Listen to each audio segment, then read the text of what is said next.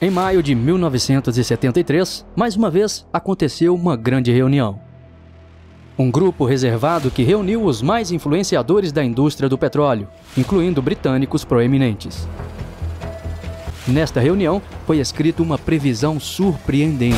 Nesta reunião, o que aconteceu foi um aumento abusivo no preço dos petróleos. Os valores estimados aí estão impressionantes 400% do que o valor daquela época. Coincidentemente, cinco meses depois, estourou aí um conflito árabe, que provavelmente foi o que aumentou surpreendentemente o valor do petróleo. Por incrível que pareça, este evento do aumento do petróleo parecia atender exatamente o que foi previsto naquela reunião. No entanto, eu deixo para você a seguinte pergunta: foi apenas uma coincidência ou talvez este conflito aí árabe e toda a situação causada ali, ela foi orquestrada por esta galera aí das sombras?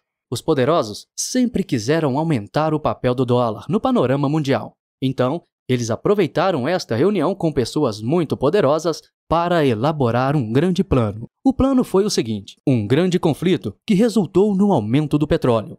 Um acordo foi estabelecido.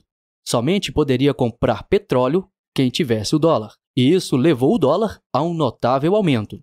Mais de 50 anos se passaram desde essa reunião. Você deve estar se perguntando do porquê eu contar essa história no início do vídeo. É muito simples. Só para te mostrar como um pequeno grupo de pessoas conseguem influenciar as flutuações da economia mundial. Você não pode ser tão ingênuo para pensar que todo esse sistema aqui foi projetado especificamente para o nosso benefício. Ó o dedinho, ó. Tudo que você está vendo na grande mídia é apenas a ponta de um iceberg, de um vasto plano complexo que está sendo operado em segundo plano por debaixo das cortinas aí nos bastidores. Nesse vídeo você vai entender um panorama aí resumido do que nos espera no futuro. Se você quiser saber como várias pessoas aí estão faturando aí um salário mínimo por semana, sem sair de casa, usando só o celular, tablet ou computador, vai agora mesmo no primeiro comentário fixado e sem compromisso. Vai lá e dá uma conferida sem compromisso e saiba como. O que você está vendo na sua tela não é nenhuma dramaturgia ou filme de ficção ou qualquer outro filme que te apresentaram, ou mesmo nenhum livro de ficção científica. O que estamos vendo são pessoas que voluntariamente estão dispostos a escanear seus olhos e entregar seus dados biométricos para uma empresa privada em troca de algumas moedas. Essa realidade é uma ilustração clara de como eles podem nos manipular de forma fácil. Com alguns poucos dólares, eles podem exercer os seus planos com uma surpreendente facilidade, lucrando com a triste e desesperadora situação que vivem os países mais pobres. Para você ainda que não está entendendo o que eu estou dizendo, cara que criou o chat GPT é o mesmo cara que criou a WorldCoin. Ou seja, uma coisa liga a outra. E a situação é o seguinte, Funciona assim. Primeiro você cria um problema aí. E qual que é o problema que eles estão criando? No futuro você sabe que vai ter é, um maior número de máquinas, né? Ou seja, vai ter mais máquinas do que humanos. Então, como é que nós podemos distinguir um humano de uma inteligência artificial? Hum, hum? as informações biométricas. E é aqui que entra a solução do negócio. Uma verificação da condição humana através de uma varredura da íris, claro, usando aí um dispositivo chamado DIO. Em troca dessa varredura em sua íris, no seu olho, a WorldCom ela vai enviar uma pequena quantia em criptomoeda para cada cidadão. Por isso que eles estão fazendo essa varredura agora, né? Isso aí você tem uma ideia de como é fácil a gente ser arrastado para um benefício, tipo, digamos que miserável. Por quê? É um material é algo material. Então a gente é, é, é, arrastado muito fácil por essas coisas, né?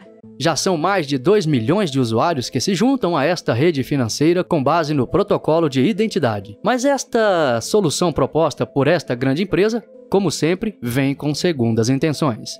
Para grandes empresas, informações pessoais são mais valiosas do que dinheiro, porque abre um ventilador de possibilidades para manipulação ainda mais quando se trata de dinheiro de graça. Porém, o pior de tudo é que isso já está sendo introduzido em milhões de pessoas que estão se tornando leais ao WorldCoin. Neste caso, a WorldCoin propõe como objetivo estabelecer um salário base universal, como eu já falei várias vezes aqui neste canal e no canal Digo Fala. Esse salário base universal, ele não chegará até você se você não executar algumas tarefas. Vai existir duas classes de pessoas na época. Vai existir a classe pobre e a classe rica. Não existirá pessoas de média, classe média. E essas duas classes, elas vão ficar totalmente dependentes do governo mundial, porque para você acessar tudo, vai ser necessário você obter uma renda básica universal. E é aí que entra o X da questão. Até aqui você acabou de ver o que está acontecendo e o que a WorldCon está fazendo e como as pessoas ficam desesperadas para reivindicar suas recompensas, que na verdade não é nenhuma recompensa. É o preço da sua privacidade, dos seus direitos e de sua identidade. E é claro, dos seus dados pessoais. Está bem claro aqui o que eu quero dizer a única moeda global será digital. Dessa forma, nos tornaremos um escravo do sistema, porque não existirá a possibilidade de uma receita comum. Tudo vai ter que passar por um filtro governamental. De acordo com vários especialistas, estamos apenas alguns meses para que aconteça um giro econômico de 180 graus que vai mudar a vida de toda a humanidade.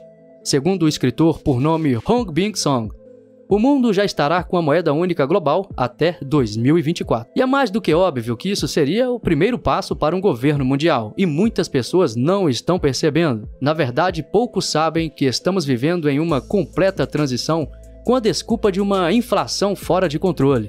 E é por isso que os bancos estão criando moedas digitais. E a pergunta que fica é: será o fim do dinheiro físico? Deixo para você responder aí nos comentários. Já te agradeço por você ter ficado comigo até o final deste vídeo, o meu muito obrigado e até o próximo vídeo.